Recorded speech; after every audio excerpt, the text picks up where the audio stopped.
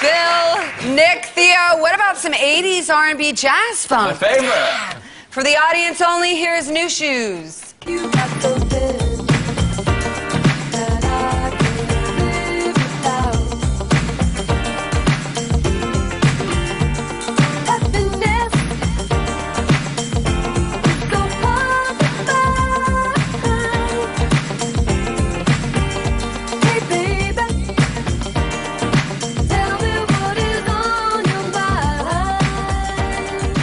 That was Nu Shooz with I Can't Wait. So which one of our lineup is singer Valerie Day? Is it number one, Nu Shooz? Number two, Old Loafers?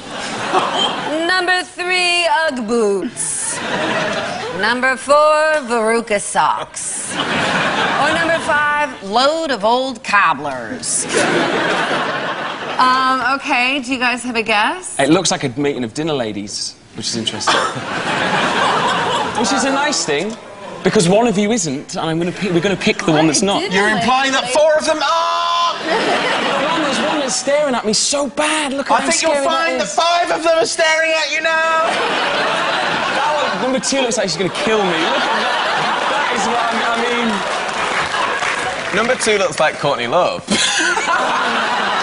no, like in a compliment. I like In a that. good way. Do you have any idea? I love this song.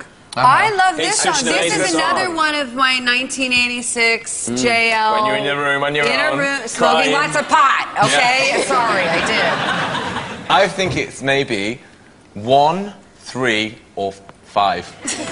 Um, Could you do like a sort of like early nine? Uh, is it 80s or 90s? 86, Sort of like late 80s sort of moves for us. No, it's not two. I think it's three.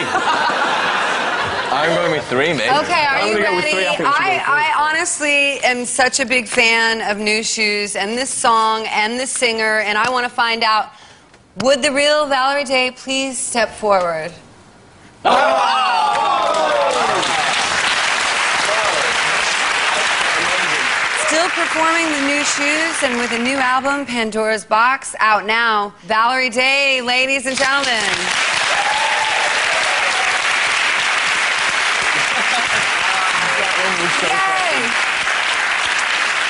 And at the end of that round, the scores are Noel's team four. Woo! Phil with two.